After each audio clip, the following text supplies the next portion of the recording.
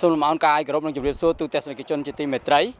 នៅខាងក្រៅខ្នងខ្ញុំនេះគឺជាសកម្មភាពគ្រឿងចាក់ជាច្រើនដែលកំពុងធ្វើការក្នុងការសាងសង់នៅទំនប់វេរីអគិសនីថ្មីមួយទៀតនៅក្នុងប្រទេសកម្ពុជារបស់យើងទូរទស្សនិកជនវេរីអគិសនីនេះគឺវេរីអគិសនីស្ទឹងពោធិ៍សាត់មួយដែលស្ថិតនៅក្នុងឃុំប្រម៉ោយស្រុកវាលវែងខេត្តពោធិ៍សាត់ ដែលដំណើរការសាងសង់ហ្នឹងទើបតែនឹងចាប់ផ្ដើមដែរទេទូទៅជនដំណើរការសិក្សាអីហ្នឹងធ្វើឡើងតាំងពីឆ្នាំ2019មកម្លេះប៉ុន្តែដោយសារតែវិបត្តិជំងឺ Covid-19 វិបត្តិសង្គ្រាមនៅអ៊ុយក្រែនអីជាដើមអញ្ចឹងការងារសាងសង់នេះក៏ត្រូវបានអូបឡាយហើយត្រូវបានចាប់ផ្ដើមនៅក្នុងអំឡុងឆ្នាំ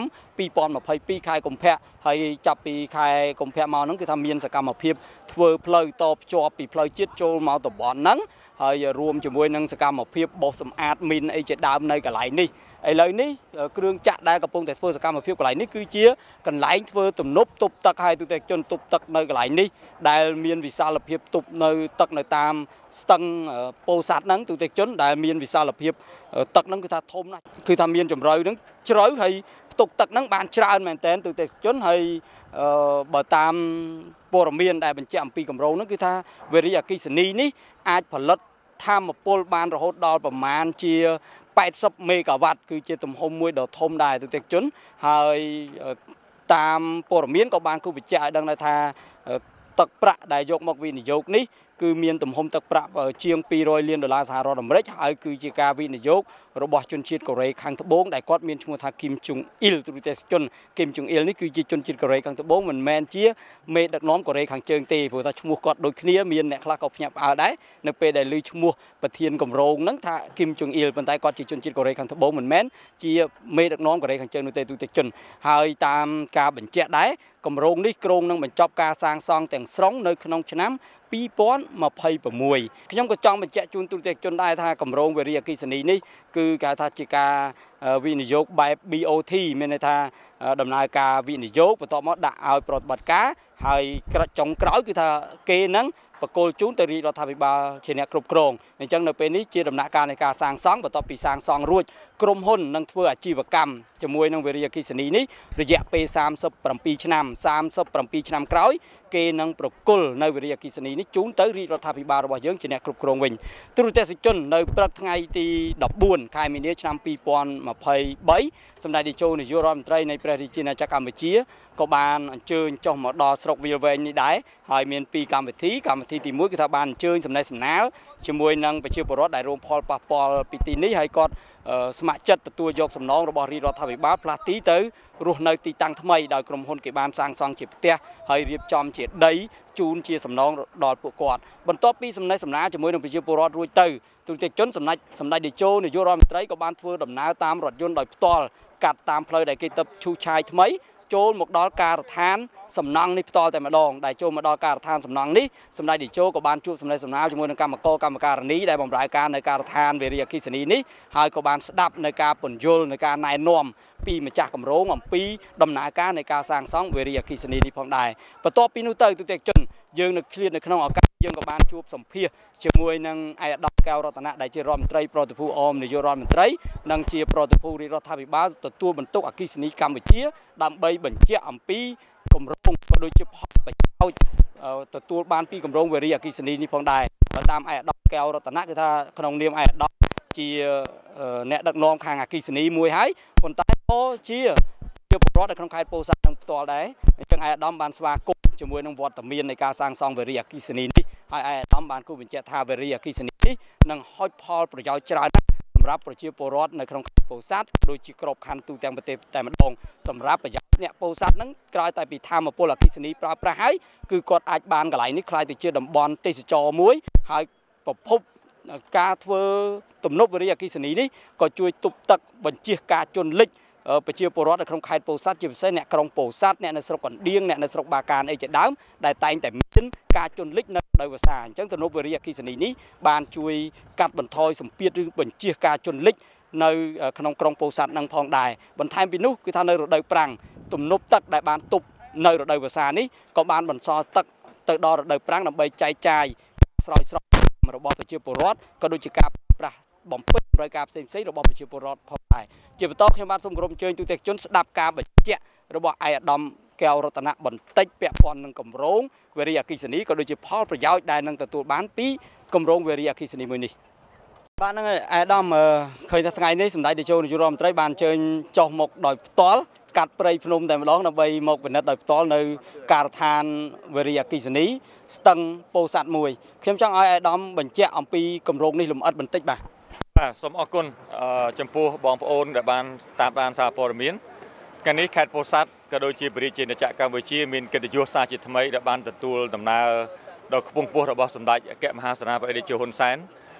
មកខេត្តពោធិ៍សាត់ដើម្បីចាប់ផ្ដើមការដ្ឋានសាងសង់គម្រោងវិរិយគិស៊ីយើងអាចថានេះជាគម្រោងវិរិយគិស៊ីទី9របស់បរិជាណាចក្រកម្ពុជាយើងមុននឹងចូលដល់ផលប្រយោជន៍ដល់ខេត្តពោធិ៍សាត់ខ្ញុំគួរតែជម្រាបជូនបងប្អូនប្រជាពលរដ្ឋថា ដោយសារមានការអភិវឌ្ឍវិរិយគិសនីដែលជាធម្មពលស្អាតផងហើយជាធម្មពលកកើតឡើងវិញផងហើយជាពិសេសការអភិវឌ្ឍនេះធ្វើទៅកើតដោយសារថាមានសន្តិភាពពេញលេញអឺពីព្រោះថាវិរិយគិសនីមិនអាចធ្វើនៅទីក្រុងបានទេគឺធ្វើនៅតំបន់ភ្នំដែលត្រូវការទឹកហើយនឹងរយៈកម្ពស់ដើម្បីកសាងប្រភពនេះវាសំខាន់ណាស់ដើម្បីចូលរួមចំណែកក្នុងការលើកតម្កើងធម្មពលស្អាតនៅក្នុងប្រទេសកម្ពុជាយើងឥឡូវនេះដោយសម្ដេចតេជោបានបញ្ជាក់ព្រឹកមិញជូនបងប្អូនប្រជាពលរដ្ឋថា ក្នុងចំណោមធម្មពលសរុបនៅក្នុងបណ្ដាញជាតិបច្ចុប្បន្ននេះធម្មពលវិរិយអគិសនីដែលជាធម្មពលស្អាតនិងធម្មពលកកើតឡើងវិញបូកនឹងធម្មពលពលឺព្រះអាទិត្យសុំសំគ្នាបន្តិចគឺយើងមានដល់62%នៃធម្មពលដែលយើងផលិតសរុបចែកចាយទទួលប្រជាជនកម្ពុជាយើងនេះមានន័យល្អសំខាន់សម្រាប់ការចូលចូលរួមការពារបរិស្ថានប៉ុន្តែក៏ចូលរួមចំណែកក្នុងការផ្ដល់ធម្មពលឲ្យមានគ្រប់គ្រាន់ហើយធម្មពលនេះជាធម្មពលដែលមានថ្លៃថោក យើងដឹងហើយថាបច្ចុប្បន្ននេះដោយសារមានវិបត្តិ COVID-19 ហើយជាពិសេសសង្គ្រាមប្រទេសអ៊ុយក្រែននេះពិភពលោកទាំងមូលមានជួបប្រទះជាមួយនឹងបញ្ហាធម្មពលថ្លៃភ្លើងអគ្គិសនីថ្លៃឧស្ម័នបានកើនឡើងច្រើនដងណាស់លើពិភពលោកនៅកម្ពុជាយើងមានមូលហេតុពីរដែលយើងមិនបានឡើងថ្លៃទីមួយជាការសម្រេចនយោបាយរបស់សម្ដេចតេជោយុរដ្ឋមន្ត្រីដែលចង់ជួយប្រជាពលរដ្ឋយើងឲ្យងើបចាក់ផុតពី COVID-19 ហើយជាពិសេសចង់ទ្រទ្រង់សេដ្ឋកិច្ចសង្គមនិងសេដ្ឋកិច្ចជារួមដើម្បីឲ្យ សង្គ្រាមអ៊ុយក្រែននេះយើងឆ្លងការលំបាកនេះរួមផានដល់ជោគជ័យដូច្នេះបញ្ហានេះនៅពេលដែលប្រទេសជិតខាងកំពុងឡើងថ្លៃភ្លើងកម្ពុជាយើងទុកថ្លៃភ្លើងនៅដដែលនេះជាឆន្ទៈនយោបាយជាការជួយរបស់សម្ដេចជាការជួយរបស់គណៈបព្វជិជនចំណុចទី2ដែលជាបញ្ហាសំខាន់ត្រង់ថាធម្មពលវិរិយគិសនីដែលមានក្នុងស្រុកយើងមាន43%ហើយយើងមានការនាំចូលបន្តិចពីឡាវគុំជាមួយសូឡាធម្មពលពលឺព្រះអាទិត្យរបស់យើងធ្វើឲ្យធម្មពលកកើតឡើងវិញមាន62%ដែលធ្វើឲ្យ បញ្ហានេះទប់បាននៅស្ថានភាពថ្លៃបានច្រើនប្រសិនសម័យមើលថាបើសិនជាយើងប្រើធ្យូងថ្មទាំងអស់100%ឬមួយក៏យើងនាំចូល100%ថ្ងៃនេះមិនដឹងថាឡើងថ្លៃ100%ឬ200%ហើយទេថ្លៃភ្លើងដូច្នេះការធ្វើវិរិយគិសនីនៅកម្ពុជា វានឹងជួយបន្តការការពារបរិស្ថានក្នុងការបញ្ចេញធម្មពលមួយដែលស្អាតឲ្យប្រជាពលរដ្ឋប្រើប្រាស់ដែលជាធម្មពលដែលមានជីវភាពហើយទន្ទឹមនឹងជួយទប់ថ្លៃមិនឲ្យកើនមកចំណែកធំបន្តទៅទៀតគឺបង្កើននេះហៅថាសន្តិសុខធម្មពលជាតិ យើងមិនអាចចេះតែទិញធម្មពលពីបរទេសរហូតទេការការទិញធម្មពលពីបរទេសគ្រាន់តែជាការបំពេញបន្ថែមដែលមានមានប្រយោជន៍ប៉ុន្តែមិនមែនជាការជំនួសធម្មពលក្នុងស្រុកទេដូច្នេះវាជាកាតព្វកិច្ចរបស់ខ្មែរយើងវាជាការទទួលខុសត្រូវរបស់រដ្ឋាភិបាលហើយជាចន្ទៈរបស់សម្ដេចឆន្ទៈរបស់គាត់ដែលចង់ឲ្យកម្ពុជាយើងមានឯករាជ្យផ្នែកធម្មពលមានន័យថាភាគច្រើនលុបនៃធម្មពលដែលផ្គត់ផ្គង់ក្នុងប្រទេសកម្ពុជាយើងជាធម្មពលដែលផលិតក្នុងស្រុក អញ្ចឹងការនាំចូលធម្មពលតិចតួចពីឡាវពីថៃពីវៀតណាមគ្រាន់តែបំពេញបន្ថែមបន្តិចបន្តួចដល់ពេលដែលយើងមានផលចំណេញនេះហើយជាផលប្រយោជន៍សម្រាប់បច្ចុប្បន្នយើងដឹងហើយថានៅក្នុងការអភិវឌ្ឍបច្ចុប្បន្ននេះដោយសារសន្តិភាពការអភិវឌ្ឍប្រភពនេះធ្វើឲ្យយើងមានភ្លើងប្រើប្រាស់ច្រើនសម្ដេចលើកព្រឹកមិញថាមកដល់បច្ចុប្បន្ននេះយើងមានប្រជាជនដែលមានខ្នងផ្ទះយើងនិយាយពីខ្នងផ្ទះយើងមានជាង90%ដែលមានដែលបានភ្ជាប់ទៅនឹងបណ្ដាញជាតិរួចហើយហើយសួរថាចុះ10%ទៀតអត់ភ្លើងប្រើប្រាស់ឬយ៉ាងម៉េចមិនមែនទេ 10%ទៀតក៏មានភ្លើងប្រើប្រាស់ដែរគ្រាន់តែភ្លើងប្រើប្រាស់ចេញមកពីការពង្រាយការដាក់ប្រព័ន្ធធម្មពលពលឺព្រះអាទិត្យលើដបូលផ្ទះដែលជាប្រព័ន្ធតូលមួយមួយដោយសារគាត់នៅឆ្ងាយពីបណ្ដាញជាតិឬមួយក៏គាត់រស់នៅលើតំបន់ទន្លេសាបដែលគាត់ចល័តទូករហូតសូម្បីតែនៅទៅលើទន្លេសាបហ្នឹងក៏អគិសនីកម្ពុជាបានដាក់ពង្រាយប្រព័ន្ធពលឺព្រះអាទិត្យលើដបូលទូកឲ្យគាត់ដែរដូច្នេះក្នុង10%ហ្នឹងសំដៅទៅលើប្រជាជនដែលនៅឆ្ងាយឆ្ងាយដែលប្រើប្រព័ន្ធសូឡាលើដបូលឯករាជ្យឬខ្លួន ចំពោះ90%នៅក្នុងផ្ទះគឺជាប្រព័ន្ធបណ្ដាញដែលភ្ជាប់មួយបណ្ដាញជាតិដែលហៅថាបណ្ដាញជាតិមានន័យថាជាបណ្ដាញ24ម៉ោងជាបណ្ដាញដែលមានថ្លៃស្មើគ្នាទូទាំងប្រទេសហើយក៏ជា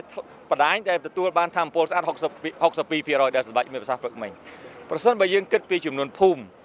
បច្ចុប្បន្ននេះយើងមានភូមិ99%រួចហើយដែលបានភ្ជាប់ជាមួយនឹងបណ្ដាញជាតិដែលខ្ញុំបានលើកអំបញ្ញមិញហ្នឹងដូច្នេះហើយនេះជាផែនការដែលយើងត្រូវធ្វើបន្តធ្វើម៉េចឲ្យការរីកចម្រើនមានទៅមុខ ឥឡូវយើងមានប៉ុណ្ណឹងសួរថាយើងឆ្អែតចន់ថាអត់ទេដោយសារយើងត្រូវការបង្កើតរោងចក្រដើម្បីបង្កើតការងាររាប់លានកន្លែងទៀតឲ្យប្រជាពលរដ្ឋសម្ដេចតេជោយុរដ្ឋមន្ត្រីក្នុងនាមប្រធានគណៈបព្វជិជនបានលើកជាគោលការណ៍គឺថាក្នុងរយៈពេលប្រហែលឆ្នាំខាងមុខនេះត្រូវបដោះបដាលយុវជនយើងឲ្យមានការបដោះបដាលដើម្បីបង្កើនជំនាញរបស់គាត់ឲ្យបានយ៉ាងតិច1លាន5សែនដើម្បីត្រៀមទទួលយកនៅរោងចក្រថ្មីថ្មីដែលនឹងមកវិនិយោគដល់កម្ពុជាហើយអគិសនីនេះជាកត្តាមួយសំខាន់ណាស់ ក្នុងការវិនិយោគសម្ដេចក៏បានលើកអំពីបញ្ហាអគិសនីនេះដែរព្រឹកមិញមិនមែនគ្រាន់តែចង់បានភ្លើងទេប៉ុន្តែភ្លើងមួយដែលស្អាតភ្លើងមួយដែលការពារបរិស្ថានភ្លើងដែលជួយកាត់បន្ថយកម្ដៅផែនដីហើយនេះហើយគឺជាគោលការណ៍តេទៀងការវិនិយោគបរទេសដូច្នេះគណៈបកនយោបាយផ្សេងអាចលើកពីរឿងការឡើងប្រាក់ខែអឺយើងមិនចង់ធ្វើអត្ថាធិប្បាយច្រើនទេប៉ុន្តែតាមពិតបានប្រាក់ខែច្រើនដោយសារមានការងារហើយការងារអ្នកណាបង្កើត គឺសម្ដេចហ៊ុនសែនអ្នកបង្កើតហើយសម្ដេចហ៊ុនសែនបង្កើតការងារតាមរយៈការបង្កើតសន្តិភាពការធ្វើហេដ្ឋារចនាសម្ព័ន្ធអស់រាប់ពាន់លានដុល្លាររួចហើយក្នុងផ្នែកអគិសនីក៏ដូចគ្នាប្រសិនបើគ្មានហេដ្ឋារចនាសម្ព័ន្ធរាប់ពាន់លានដុល្លារក្នុងការគូសវាសរបស់សម្ដេចហ៊ុនសែនគុំនិយាយពីរឿងប្រាក់ខែវាអត់ទាំងមានការងារផងទេដូច្នេះហើយនេះបានជាការបញ្ជាក់ជារួមថាការធ្វើភ្លើងថ្ងៃនេះ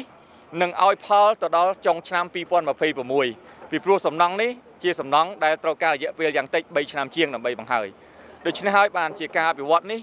ជាការទទួលខុសត្រូវខ្ពស់ជាការចង់ជួយលើកដំកើងជីវភាពរបស់ប្រជាពលរដ្ឋសម្រាប់រយៈពេលវែងឆ្ងាយទៅអនាគតហើយនិយាយដល់ពេលខេត្តពោធិ៍សាត់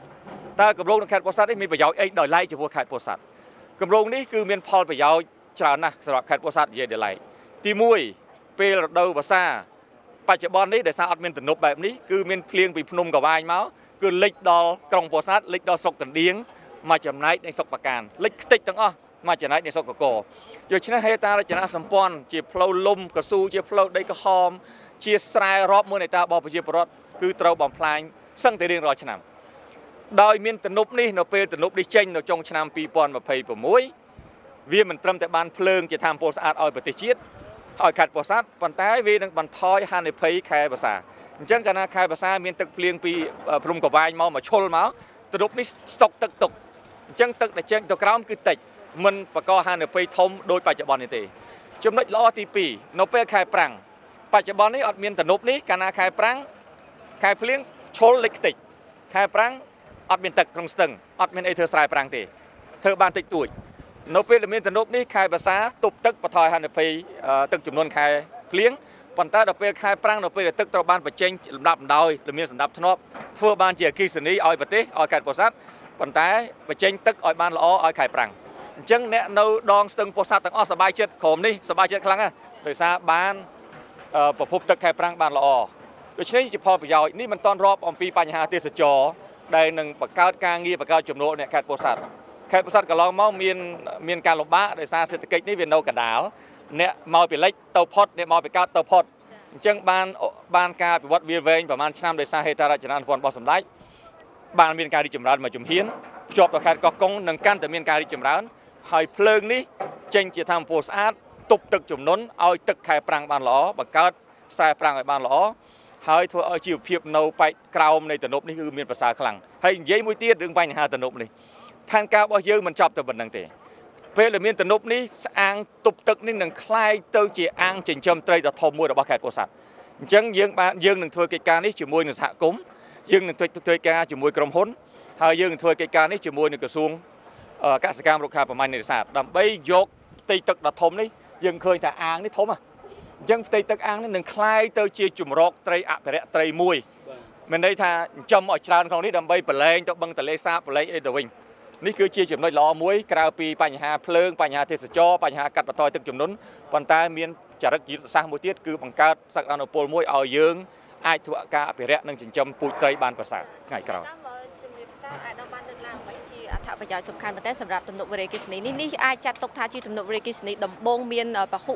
ប្រយោជន៍ច្រើនបើធៀបជាមួយនឹងវារីអគ្គិសនីមុនមុនដែលយើងមានចា៎មិនមិនជាលើកដំបូងក្នុងប្រយោជន៍ច្រើនគម្រោងមុនមុនក៏ផ្ដល់ប្រយោជន៍ច្រើនឧទាហរណ៍ដូចជាគម្រោងវារីអគ្គិសនីធំទី1 របស់យើងមិនមែនទី1ប៉ុន្តែអាងធំទី1កាលមុនយើងមានអាតូច12មេហ្គាវ៉ាត់នៅគិរុំទី1យើងហៅថាទី1ចុះប៉ុន្តែអាធំទី1របស់យើងគឺនៅកំចាយខេត្តកពតដែលមាន193 194មេហ្គាវ៉ាត់យើងមានទំនប់នោះស្តៀងគ្នានឹងអញ្ចឹងកាលមុនអ្នកកពតអាសាលិចណាទីក្រុងកពតបន្ទាប់ពីមានតរុបទំនប់កំចាយមកគឺមិនសូវមានការលិចចូលដល់ទីក្រុងនិងលិចចការតរ៉េនទេដោយឡែកនៅក្នុងខែប្រាំងទឹកហ្នឹង ធ្លាក់ល្អជាងមុនអញ្ចឹងបានមានអ្នកទៅលេងទឹកឈូមានអីខែប្រាំងល្អជាងមុនហើយមិនត្រឹមតែប៉ុណ្ណោះទេនៅខេត្តកពតគឺផ្ដល់ប្រភពទឹកស្អាតមួយឲ្យខេត្តកពតធំណាស់ពីកម្ចាយដោយសារទំនប់នេះដូច្នេះគម្រោងនេះមិនមិនមែនជាគម្រោងទី1ដែលឲ្យប្រយោជន៍ច្រើនតែឯងទេគម្រោងដតេពីមុនមកក៏ធ្លាប់ឲ្យផលប្រយោជន៍ច្រើនចឹងដែរប៉ុន្តែដែលគេយើងដែលយើងលើករំលេចចំពោះខេត្តពោធិ៍សាត់នេះដោយសារអានេះជាលើកទី1របស់ខេត្តពោធិ៍សាត់ដែលមានប្រយោជន៍ដោយផ្ទាល់ដោយសារនេះវាស្ថិតនៅលើ ដងស្ទឹងខេត្តពោធិ៍សាត់អញ្ចឹងផលប្រយោជន៍ចំពោះខេត្តពោធិ៍សាត់ហ្នឹងគឺវាវាសំខាន់ដែលខ្លួនឯងខ្លួនខ្ញុំជាអ្នកខេត្តពោធិ៍សាត់ដែរសូមតំណាងឲ្យប្រជាពលរដ្ឋខេត្តពោធិ៍សាត់ដោយសូមជាខ្ញុំជាអ្នកកំណើតខេត្តពោធិ៍សាត់គឺអឺសบายចិត្តក្នុងក្នុងនាមជាមើលអេសេសบายចិត្តរឿងភ្លើងមកប្រទេសហើយប៉ុន្តែក្នុងនាមជាអ្នកពោធិ៍សាត់ដែលខ្ញុំជួបបងប្អូនយើងនៅពោធិ៍សាត់សบายចិត្តដោយសារគម្រោងវាវានឹងជួយកែប្រែខេត្តពោធិ៍សាត់សម្រាប់រយៈពេលវែងវែងឆ្ងាយយុទ្ធសាស្ត្រ ហើយការភ្ជាប់ផ្លូវអឺកស៊ូផ្លូវ highway ទៅខេត្តអឺកោះកុងនឹងការដាក់ពូលយកខេត្តពោធិ៍សាត់ជាពូលទី4របស់ខេត្តពោធិ៍សាត់នឹងធ្វើឲ្យខេត្តពោធិ៍សាត់ក្នុងរយៈពេល4-5ឆ្នាំទៅមុខទៀតដូរជីវភាពជាវិជ្ជមានច្រើនដែលខ្ញុំសប្បាយចិត្តហើយសូមអរគុណដល់សម្ដេចតេជោហ៊ុនសែនដែលផ្ដល់ឱកាសនេះឲ្យប្រជាពលរដ្ឋខេត្តពោធិ៍សាត់អាដាមខ្ញុំចង់អាដាមជួយបញ្ជាក់ថានៅក្នុងប្រទេសកម្ពុជាយើងមកដល់ពេលបច្ចុប្បន្នហ្នឹងមានវេរីអគិសនីសរុបប្រមាណហើយផ្ដល់ធម្មពលសរុប ប្រមាណហើយតាមរយៈធម្មពលដែលយើងអាចផលិតបាននាពេលបច្ចុប្បន្ននេះយើងមានសវត្ថភាពនៅផ្នែកឯករាជ្យលើធម្មពលត្បិតថាពីមុនហ្នឹងយើងពឹងពាក់គេច្រើនយើងតែងតែនិយាយថាយើងមិនទាន់ឯករាជ្យផ្នែកធម្មពលគេចង់ឲ្យក៏ឲ្យគេត្រូវការខ្ពស់ជាងយើងគេកាត់ផ្ដាច់ពីយើងឲ្យច្បាស់បាទសូមអរគុណយើងនិយាយលេខយើងបច្ចុប្បន្នយើងមានអនុភាពដំឡើងអនុភាពដំឡើងដល់ទៅជាង4000មេហ្គាវ៉ាត់តម្រូវការជាក់ស្ដែងនៅក្នុងម៉ោងដែលយើងប្រើបន្ទុក អតិបរមាម៉ោងធ្វើការមិនមែនម៉ោងថ្ងៃសុក្រថ្ងៃសៅរ៍យប់អីទេម៉ោងដែលយើងប្រើបន្ទុកអតិបរមាដោយអាដាមសុសែមរាយការណ៍ជូនសម្ដេចពឹកមិញគឺ2200មេហ្គាវ៉ាត់ប៉ុន្តែយើងមានដល់ទៅ4000ជាងដូច្នេះតម្រូវការប្រើប្រាស់មិនខ្វះទេមិនខ្វះទេហើយសួរថាចុះបើមិនខ្វះអញ្ចឹងមិនក៏ទៅទិញបន្តិចទួចពីប្រទេសជិតខាង ការទិញពីប្រទេសជិតខាង គឺផលចំណេញឲ្យខ្មែរនៅពេលដែលឆក់ទៅឆក់មកចំណេញយើងយកប៉ុន្តែដូចខ្ញុំលើកអញ្ចឹងការការការប្រកួតប្រជែងអគិសនីនៅកម្ពុជា មិនឲ្យដង្ហើមចំមុះរបស់យើងពឹងលើប្រទេសជិតខាងទេការនាំចូលប្រទេសជិតខាងគ្រាន់តែបំពេញបន្ថែមបន្តិចបន្តួចដែលជាផលចំណេញឲ្យខ្មែរដូចជាអាមេរិកទិញភ្លើងពីកាណាដាដូចជាវៀតណាមលក់ភ្លើងឲ្យយើងប៉ុន្តែវៀតណាមក៏ទិញភ្លើងពីឡាវវៀតណាមក៏ទិញភ្លើងពីចិនមកដែរអថៃទិញលក់ភ្លើងឲ្យយើងបន្តិចប៉ុន្តែថៃក៏ទិញភ្លើងពីភូមាថៃក៏ទិញភ្លើងពីឡាវដែរដូច្នេះទំនាក់ទំនងប្រជាពាណិជ្ជពាណិជ្ជកម្មធម្មពលនេះមិនមែនមានន័យថាជាការលះបង់ឯករាជ្យទេ ប៉ុន្តែអ្វីដែលសំខាន់ត្រង់ថាភាកច្រើនលុះលុបនៃភ្លើងដែលយើងត្រូវការគឺមានក្នុងប្រទេសការការនាំចូលបន្តិចបន្តួចដោយប្រទេសគេដែលធ្វើលើពិភពលោកគ្រាន់តែជាការបំពេញបន្ថែមបន្តិចបន្តួចដែលយើងចំណេញដែលយើងចំណេញនេះជាបញ្ហាសំខាន់ហើយអ្វីមួយទៀតដែលយើងចង់បញ្ជាក់ជូនថាចុះបើយើងមានភ្លើងដល់ទៅ3 4000មេហ្គាវ៉ាត់ហើយតម្រូវការតែ2000ជាងមេហ្គាវ៉ាត់មិនក៏យើងខំធ្វើទៅអីទៀតដោយសារយើងព្យាករពីកំណើនសេដ្ឋកិច្ច ពីភាពចាំបាច់នៃការបង្កើតការវិនិយោគបង្កើតរោងចក្រសហគ្រាសឲ្យបង្កើតការងារជូនបងប្អូនយុវជនយើងពួកបងប្អូនយុវជនយើងត្រូវការការងារធ្វើតើតែមានការងារច្រើនបានមានប្រាក់ខែដូច្នេះហើយនេះជាចំណុចសំខាន់ណាស់ដែលបងប្អូនត្រូវតែចាំហើយភ្លើងវាជាចំណុចមួយសំខាន់ដែលត្រូវតែជាសេវាគ្រប់គ្រងផ្លូវកំពង់ផែវាលយន្តហោះផ្លូវរថភ្លើងទាំងអស់នេះសិតជាកោមនៃហេដ្ឋារចនាសម្ព័ន្ធរាប់ទាំងបញ្ហាអគិសនីដែលមានទូនាទីសំខាន់ ក្នុងទស្សនវិស័យរបស់សម្ដេចក្នុងការបង្កើតការងារបង្កើនជីវភាពរបស់ប្រជាពលរដ្ឋបង្កើនប្រាក់ចំណូលហើយនឹងបង្កើតសុភមង្គលឲ្យប្រជាពលរដ្ឋសរុបជាពេលឆ្ងាយអាដាមសូមមកសំណួរទៀតមកទោះបីចង់មិនចង់អ្នកបរិស្ថាននិយមនឹងមានការពិពណ៌នាលើគម្រោងវិរិយអគិសនីមួយនេះអញ្ចឹងខ្ញុំចង់ឲ្យអាដាមឆ្លើយតបទប់ស្កាត់ជាមុនទៅថាតើធ្វើវិរិយអគិសនីនេះយ៉ាងម៉េចប្រៀបធៀបរវាងបរិស្ថានជាមួយនឹងប្រយោជន៍ ទូទៅរបស់សង្គមជាតិអអឺវិរិយអគិសនីនៅតែជាប្រភពចម្បងទី1ក្នុងចំណោមប្រភពធម្មពលស្អាតនិងធម្មពលកកើតឡើងវិញលើពិភពលោកដោយសារធម្មពលនេះគឺនៅតែមានប្រសិទ្ធភាពក្នុងការជួយកាត់បន្ថយការបញ្ចេញឧស្ម័នពុលប្រសិនបើយើងមិនធ្វើវិរិយអគិសនីយើងងាកទៅរកអីយើងងាកទៅរកបរមាណូដែលមានភាពគ្រោះថ្នាក់ហើយថ្លៃយើងងាកទៅរកធ្យូងថ្មដែលមានតម្លៃថ្លៃ ហើយយើងត្រូវការទិញធ្យូងថ្មពីបរទេសយើងចំណុះបរទេសទៅទៀតប្រភពនេះជាប្រភពកកើតឡើងវិញភពស្អាតកកើតឡើងវិញចង់និយាយថាម៉េចខែភាសាទឹកភ្លៀងទេវតាឋានលើមឲ្យភ្លៀងមកយើងបានទឹកហ្នឹងខែប្រាំងរីងតិចខែភាសាមកទៀតដូច្នេះធម្មពលវាជាធម្មពលដែលកើតឡើងវិញចុះឡើងចុះឡើងក្នុងពិភពអឺលោកយ៉ាងនេះហើយវាអត់មានបំភាយឧស្ម័នអីទៅឲ្យប៉ះពាល់ទេមិនត្រឹមតែប៉ុណ្្នឹងទេកន្លែងវិរិយអគិសនីក៏ជាកន្លែងសុខដុមរមនាមួយដ៏សំខាន់ ដែលយើងឃើញតែស្អាតនេះទៅទៀតคล้ายទៅជាកន្លែងដែលគេមកដើរលេងដូច្នេះអត់មានក្លិនបំពុលអត់មានអត់មានអឺជាតិស៊ុលហ្វូឬកាបូនឌីអុកស៊ីតអីទៅលើទេនេះជាបញ្ហាសំខាន់មួយដូច្នេះសម្រាប់បានលើកឲ្យថាការអភិវឌ្ឍវាមិនដែលអត់អត់មានប៉ះប៉ះពាល់ទេមានប៉ះប៉ះពាល់តិចតួចប៉ុន្តែបើយើងមើលពីផលប្រយោជន៍ជារួមប្រៀបធៀបជាមួយប្រភពខ្ជូងថ្ម nuclear ប្រភពអូស្មန်ឬក៏ប្រេងយើងចំណោះបរទេសយើងត្រូវបង់ថ្លៃ ហើយវាបំពុលបរិស្ថានវាផ្សែងអានេះបាទមានផ្សែងជាប្រភេទធម្មពលដែលអត់ផ្សែងហើយជាប្រភេទធម្មពលថោកក្នុងស្រុកដែលយើងម្ចាស់ការបានមិនពឹងទៅលើបរទេសនេះហើយជាប្រភពដែលដែលយើងត្រូវមានហើយអានេះមិនមែនតែកម្ពុជាទេពិភពលោកធ្វើច្រើនអញ្ចឹងហើយបានជាបើសិនជាយើងមើលប្រភពកកើតឡើងវិញលើពិភពលោកមានអីវិរិយអគិសនីនឹងទី1ធំជាងគេដែលគេពឹងផ្អែកនៅឡើយបន្ទាប់មកទៀតបានចូលខ្យល់ចូលអឺពលឺព្រះអាទិត្យអីប៉ុន្តែពលឺព្រះអាទិត្យមានមានអត់មាន មានមានពេលថ្ងៃមានតែ4 5ម៉ោងដែលមានពេលល្ងាចអត់មានពេលយប់អត់មានពេលភ្លៀងអត់មានពេលពពកអត់មានដូច្នេះយើងមិនអាចប្លុតភ្លើងតាមផ្ទះឬប្លុតរោងចក្រតាមថ្ងៃបានទេរោងចក្រត្រូវការភ្លើងពេលណាដែលរោងចក្រត្រូវការប្រជាជនចង់បើកទទួលស្មើណាដែលគាត់ត្រូវការទូតកកត្រូវឆេ24ម៉ោងដូច្នេះនេះគឺជាសារៈប្រយោជន៍តាមពិតយើងអ្នកគិតផ្នែកធម្មពលយើងយើងបានគិតគូររួមប៉ុន្តែបន្ទាប់ពីគិតគូររួមមកដោយពិភពលោកដែរ គឺធម្មពលវិរិយអគិសនីនៅតែជាធម្មពលស្អាតនាំមុខក្នុងក្នុងចំណោមធម្មពលស្អាតដើម្បីបទូបថយថ្លៃដើម្បីការចូលរួមចំណែកក្នុងការកាត់បន្ថយឧស្ម័នពុលទៅលើបរិយាកាសមានន័យថាជាការបន្ថយកម្ដៅផែនដីហើយជាធម្មពលដែលមានស្រាប់នៅតាមបណ្ដាប្រទេសមួយចំនួនដូចយើងអញ្ចឹងគឺថាយើងសំណាងដោយសារយើងមានប្រភពនេះហើយសំណាងមិនមែនតែដោយសារធនធានធម្មជាតិទេយើងសំណាងជាងគេបំផុតនៅកម្ពុជាដែលយើងមានថ្ងៃនេះ រឿងផ្នែកធម្មពលនេះដោយសារយើងមានភ្លើងល្អមានប្រជាជន90%នៅក្នុងផ្ទះមានភ្លើងប្រើប្រាស់ភូមិ99%មានភ្លើងប្រើប្រាស់ពីបណ្ដាញជាតិដោយសារមិនមែនតែធម្មពលពីពីធនធានធម្មជាតិទេគឺដោយសារមានមេដឹកនាំមួយដែលមានចក្ខុវិស័យច្បាស់លាស់ហើយអាកាត់ជួសប្រជាពលរដ្ឋហើយជំនះទៅលើការប្រឆាំងបំផ្លាញបន្តិចបន្តួចប៉ុន្តែការអាកាត់របស់សម្ដេចគឺយើងឃើញហើយជាងរយៈពេលជាង15ឆ្នាំនេះធម្មពលយើងកើនឡើង ពុតគោឡើងកើនឡើងជាង10ដងហើយធម្មពលស្អាតឡើងដល់62%កាលមុនយើងប្រើប្រេងពឹងបរទេសថ្លៃសងប់ប្រហុយដលោមពេញក្រុងម៉ាស៊ីនភ្លើងនៅពេញក្រុងភ្នំពេញឥឡូវនេះអត់ទេគឺយើងឃើញថាបដាជាតិបានក្របដណ្ដប់នេះហើយគឺជាផលប្រយោជន៍នៃសន្តិភាពហើយក៏បញ្ជាក់ថាសន្តិភាពនេះបានមកដោយសារមានដឹកនាំមួយដែលឆ្លៀសវៃដែលតស៊ូដែលយកជីវិតរបស់គាត់ទៅធ្វើជាដើមទុនតែផលបានមកវិញបានដល់ប្រជាពលរដ្ឋសម្រាប់ចំនួននេះនឹងបន្តរាប់ចំនួនទៅ ថ្ងៃក្រោយវិរិយគីសិនដែលយើងឃើញថ្ងៃនេះនៅពេលដែលចេញវាអាចនៅបានចន្លោះពី60ពី70 80ឆ្នាំទៅ100ឆ្នាំហើយអានេះជាគម្រោងផ្ទេសាងសង់បដិបត្តិការហើយផ្ទេអញ្ចឹងក្រោយជាង30ឆ្នាំបន្ទាប់ពីដំណើរការហើយក្រុមហ៊ុនគេបានផលចំណេញគេបន្តិចបន្តួចគេសងធនាគារអស់គេចំណេញតិចតួចយើងសល់ជាង40 50ឆ្នាំទៀតជាបោះខ្មែរទាំងអស់អញ្ចឹងនៅពេលនោះថ្លៃភ្លើងកាន់តែធ្លាក់ចុះ ថោកទៀតខ្ញុំខ្ញុំខ្ញុំជឿជាក់ថាប្រជាពលរដ្ឋយើងច្បាស់ជាចង់បានភ្លើងស្អាតចង់បានភ្លើងមួយដែលផលិតក្នុងស្រុកដែលមិនចំណុះបរទេសហើយចង់បានភ្លើងថោកចំណុចនេះគឺជាចំណុចដែលសម្ដេចហ៊ុនសែននៅជាមួយបងប្អូនយើងអាដាមអាដាមសូមត្រឡប់មកក្រោយបន្តិចអាដាមបានបញ្ជាក់ថាជាវេរីគម្រោងវេរីគិសនីទី9របស់កម្ពុជាយើងអញ្ចឹងសម្រាប់ខេត្តពោធិ៍សាត់សរុបទាំងអស់គឺប្រមាណគម្រោងខេត្តពោធិ៍សាត់តាមពិតអានេះទី1 វាមានគម្រោងមួយវាមាននៅអតៃ120មេហ្គាវ៉ាត់ប៉ុន្តែអតៃនេះវាស្ថិតនៅលើស្ទឹងមួយ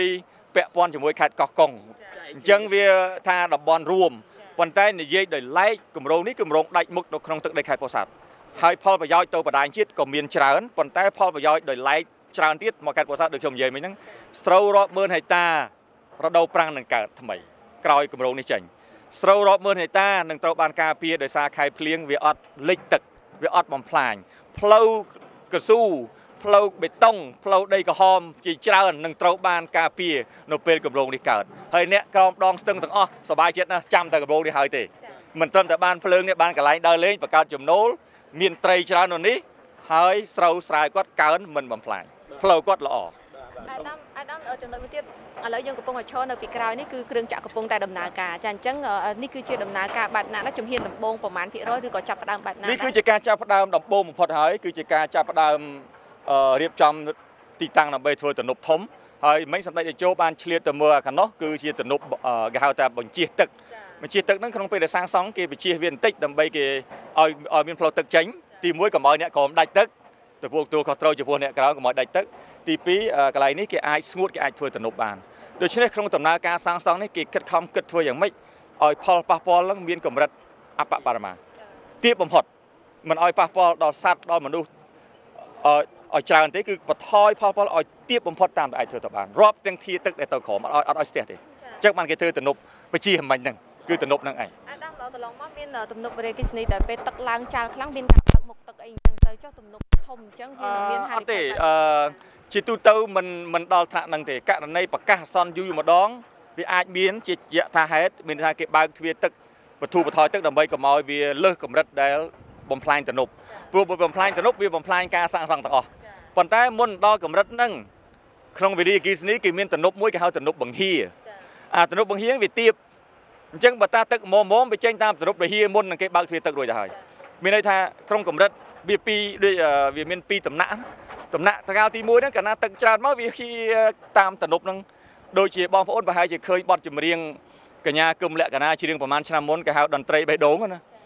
អឺបងស្រីគាត់ទៅច្រៀងនៅនៅអាតនុពហិហ្នឹងនៅគិរមហ្នឹងអាតនុពហិហ្នឹងគឺជាតនុមួយគេធ្វើទៀបពហិចោលពេលថាទឹកមកដល់កន្លែងហ្នឹងវាហិទៅហ្មងអត់មានបញ្ហាទេដើម្បីការពារលិចលើតនុធំ លុះត្រាតែទឹកធំតនុពហិហ្នឹងវាវាមិនវាមិនអាចបញ្ចេញទឹកតាន់អាហ្នឹងបានគេប្រហើមបន្តិចប៉ុន្តែក្នុងករណីហ្នឹងគេតែងតែប្រកាសជាមុនទៅឲ្យប្រជាជននៅកន្លែងខាងក្រោមទឹកថាឲ្យប្រយ័ត្នឥឡូវបើយើងគិតថាចុះបើយើងអត់មានតនុហ្នឹងអត់មានទំនប់នឹងសប្ងៃនេះគ្មានណាប្រដាប់ទេតែភ្លៀងភ្នំក្បែរលេចកងដាច់មិនដែលទឹងទូកមិនដែលទឹងកន្លែងអ្នកបដោះស្ដែកនៅកន្លែងខ្ញុំនៅវត្តកៅសវណ្ណនៅម្ដុំក្បាលហុងឃុំវាលហ្នឹងមិនដែលទាំងអ្នកបដោះស្ដែកទាំងអស់អាកធុងសាំងគាត់ប៉ុណ្ណេះមិនដែលខ្ទេចទាំងអស់ឈ្នៀងមិនដែលទូកមិនដែល ប៉ុន្មានទំនប់នេះបើមានទំនប់អញ្ចឹងកាលណាមានរឿងធំគេប្រកាសមុនអញ្ចឹងបងប្អូននៅក្រោមហ្នឹងគេដឹងមុនដូចនៅកំចាយអញ្ចឹងគេប្រកាសមុនអញ្ចឹងកុំឲ្យមានការព្រួយបារម្ភកុំព្រួយបារម្ភមានតែសบายចិត្តឲ្យខ្ញុំមិនដឹងអ្នកណាទេប៉ុន្តែបើសិនអ្នកខេត្តពោធិ៍សាត់វិញអឺមួយថ្ងៃសឹងតែបន់3ដងសូមឲ្យលឿនតាមពិតកម្រងនេះយឺត2ឆ្នាំហើយយឺតដោយសារបញ្ហាកូវីដហើយនឹងសង្គ្រាមអ៊ុយក្រែនបើសិនជាគុំមានបញ្ហាកូវីដនិងសង្គ្រាមអ៊ុយក្រែននេះតាមពិតកម្រងនេះត្រូវចេញនៅក្នុងឆ្នាំ ឆ្នាំហ្នឹងត្រូវចេញហ្នឹងខ្ញុំមិនបាច់ពិបាកជួយរឿងអ្នកលេខស្រូវឥឡូវអ្នកលេខស្រូវតែលេខស្រូវម្ដងម្ដងពួកខ្ញុំយកស្បៀងយកអង្គទៅជួយគាត់ទៅធ្វើផ្លូវជូនគាត់ឡើងវិញអស់លុយលំកណ្ដោដូច្នេះទៅប៉ុន្តែវាយឺតយ៉ាងណាវាគ្រាន់ជាងអត់ដោយសារវាយឺតនឹងមិនមែនយើងចង់យឺតទេគឺដោយសារសភាពការជាក់ស្ដែងលើពិភពលោកកូវីដបញ្ហាឡើងថ្លៃនៃសម្ភារៈបញ្ហាសង្គ្រាមអ៊ុយក្រែនប៉ុន្តែទោះបីយ៉ាងណាក៏ដោយដោយសារការជឿទុកចិត្តលើសន្តិភាពនិងការអភិវឌ្ឍរបស់សម្ដេចក្រុមហ៊ុននេះនៅតែបដិញ្ញាធ្វើមិនចោលទេ ដូច្នេះនេះជាភពសំណាងរបស់កម្ពុជាយើងដែលខ្ញុំលើកម្ដងទៀតថាគម្រោងដែលឲ្យទាំងអស់ក្នុងជាង15ឆ្នាំ20ឆ្នាំនេះគ្មានគម្រោងណាមួយត្រូវបានបោះបង់ចោលដោយការខ្វះការទុកចិត្តលើសន្តិភាពនិងការអភិវឌ្ឍរបស់សម្ដេចទេដូច្នេះជាភពសំណាងរបស់ប្រជាជនយើងបាទសូមអរគុណអាយដាមសូមអរគុណអរគុណបងប្អូនអរគុណ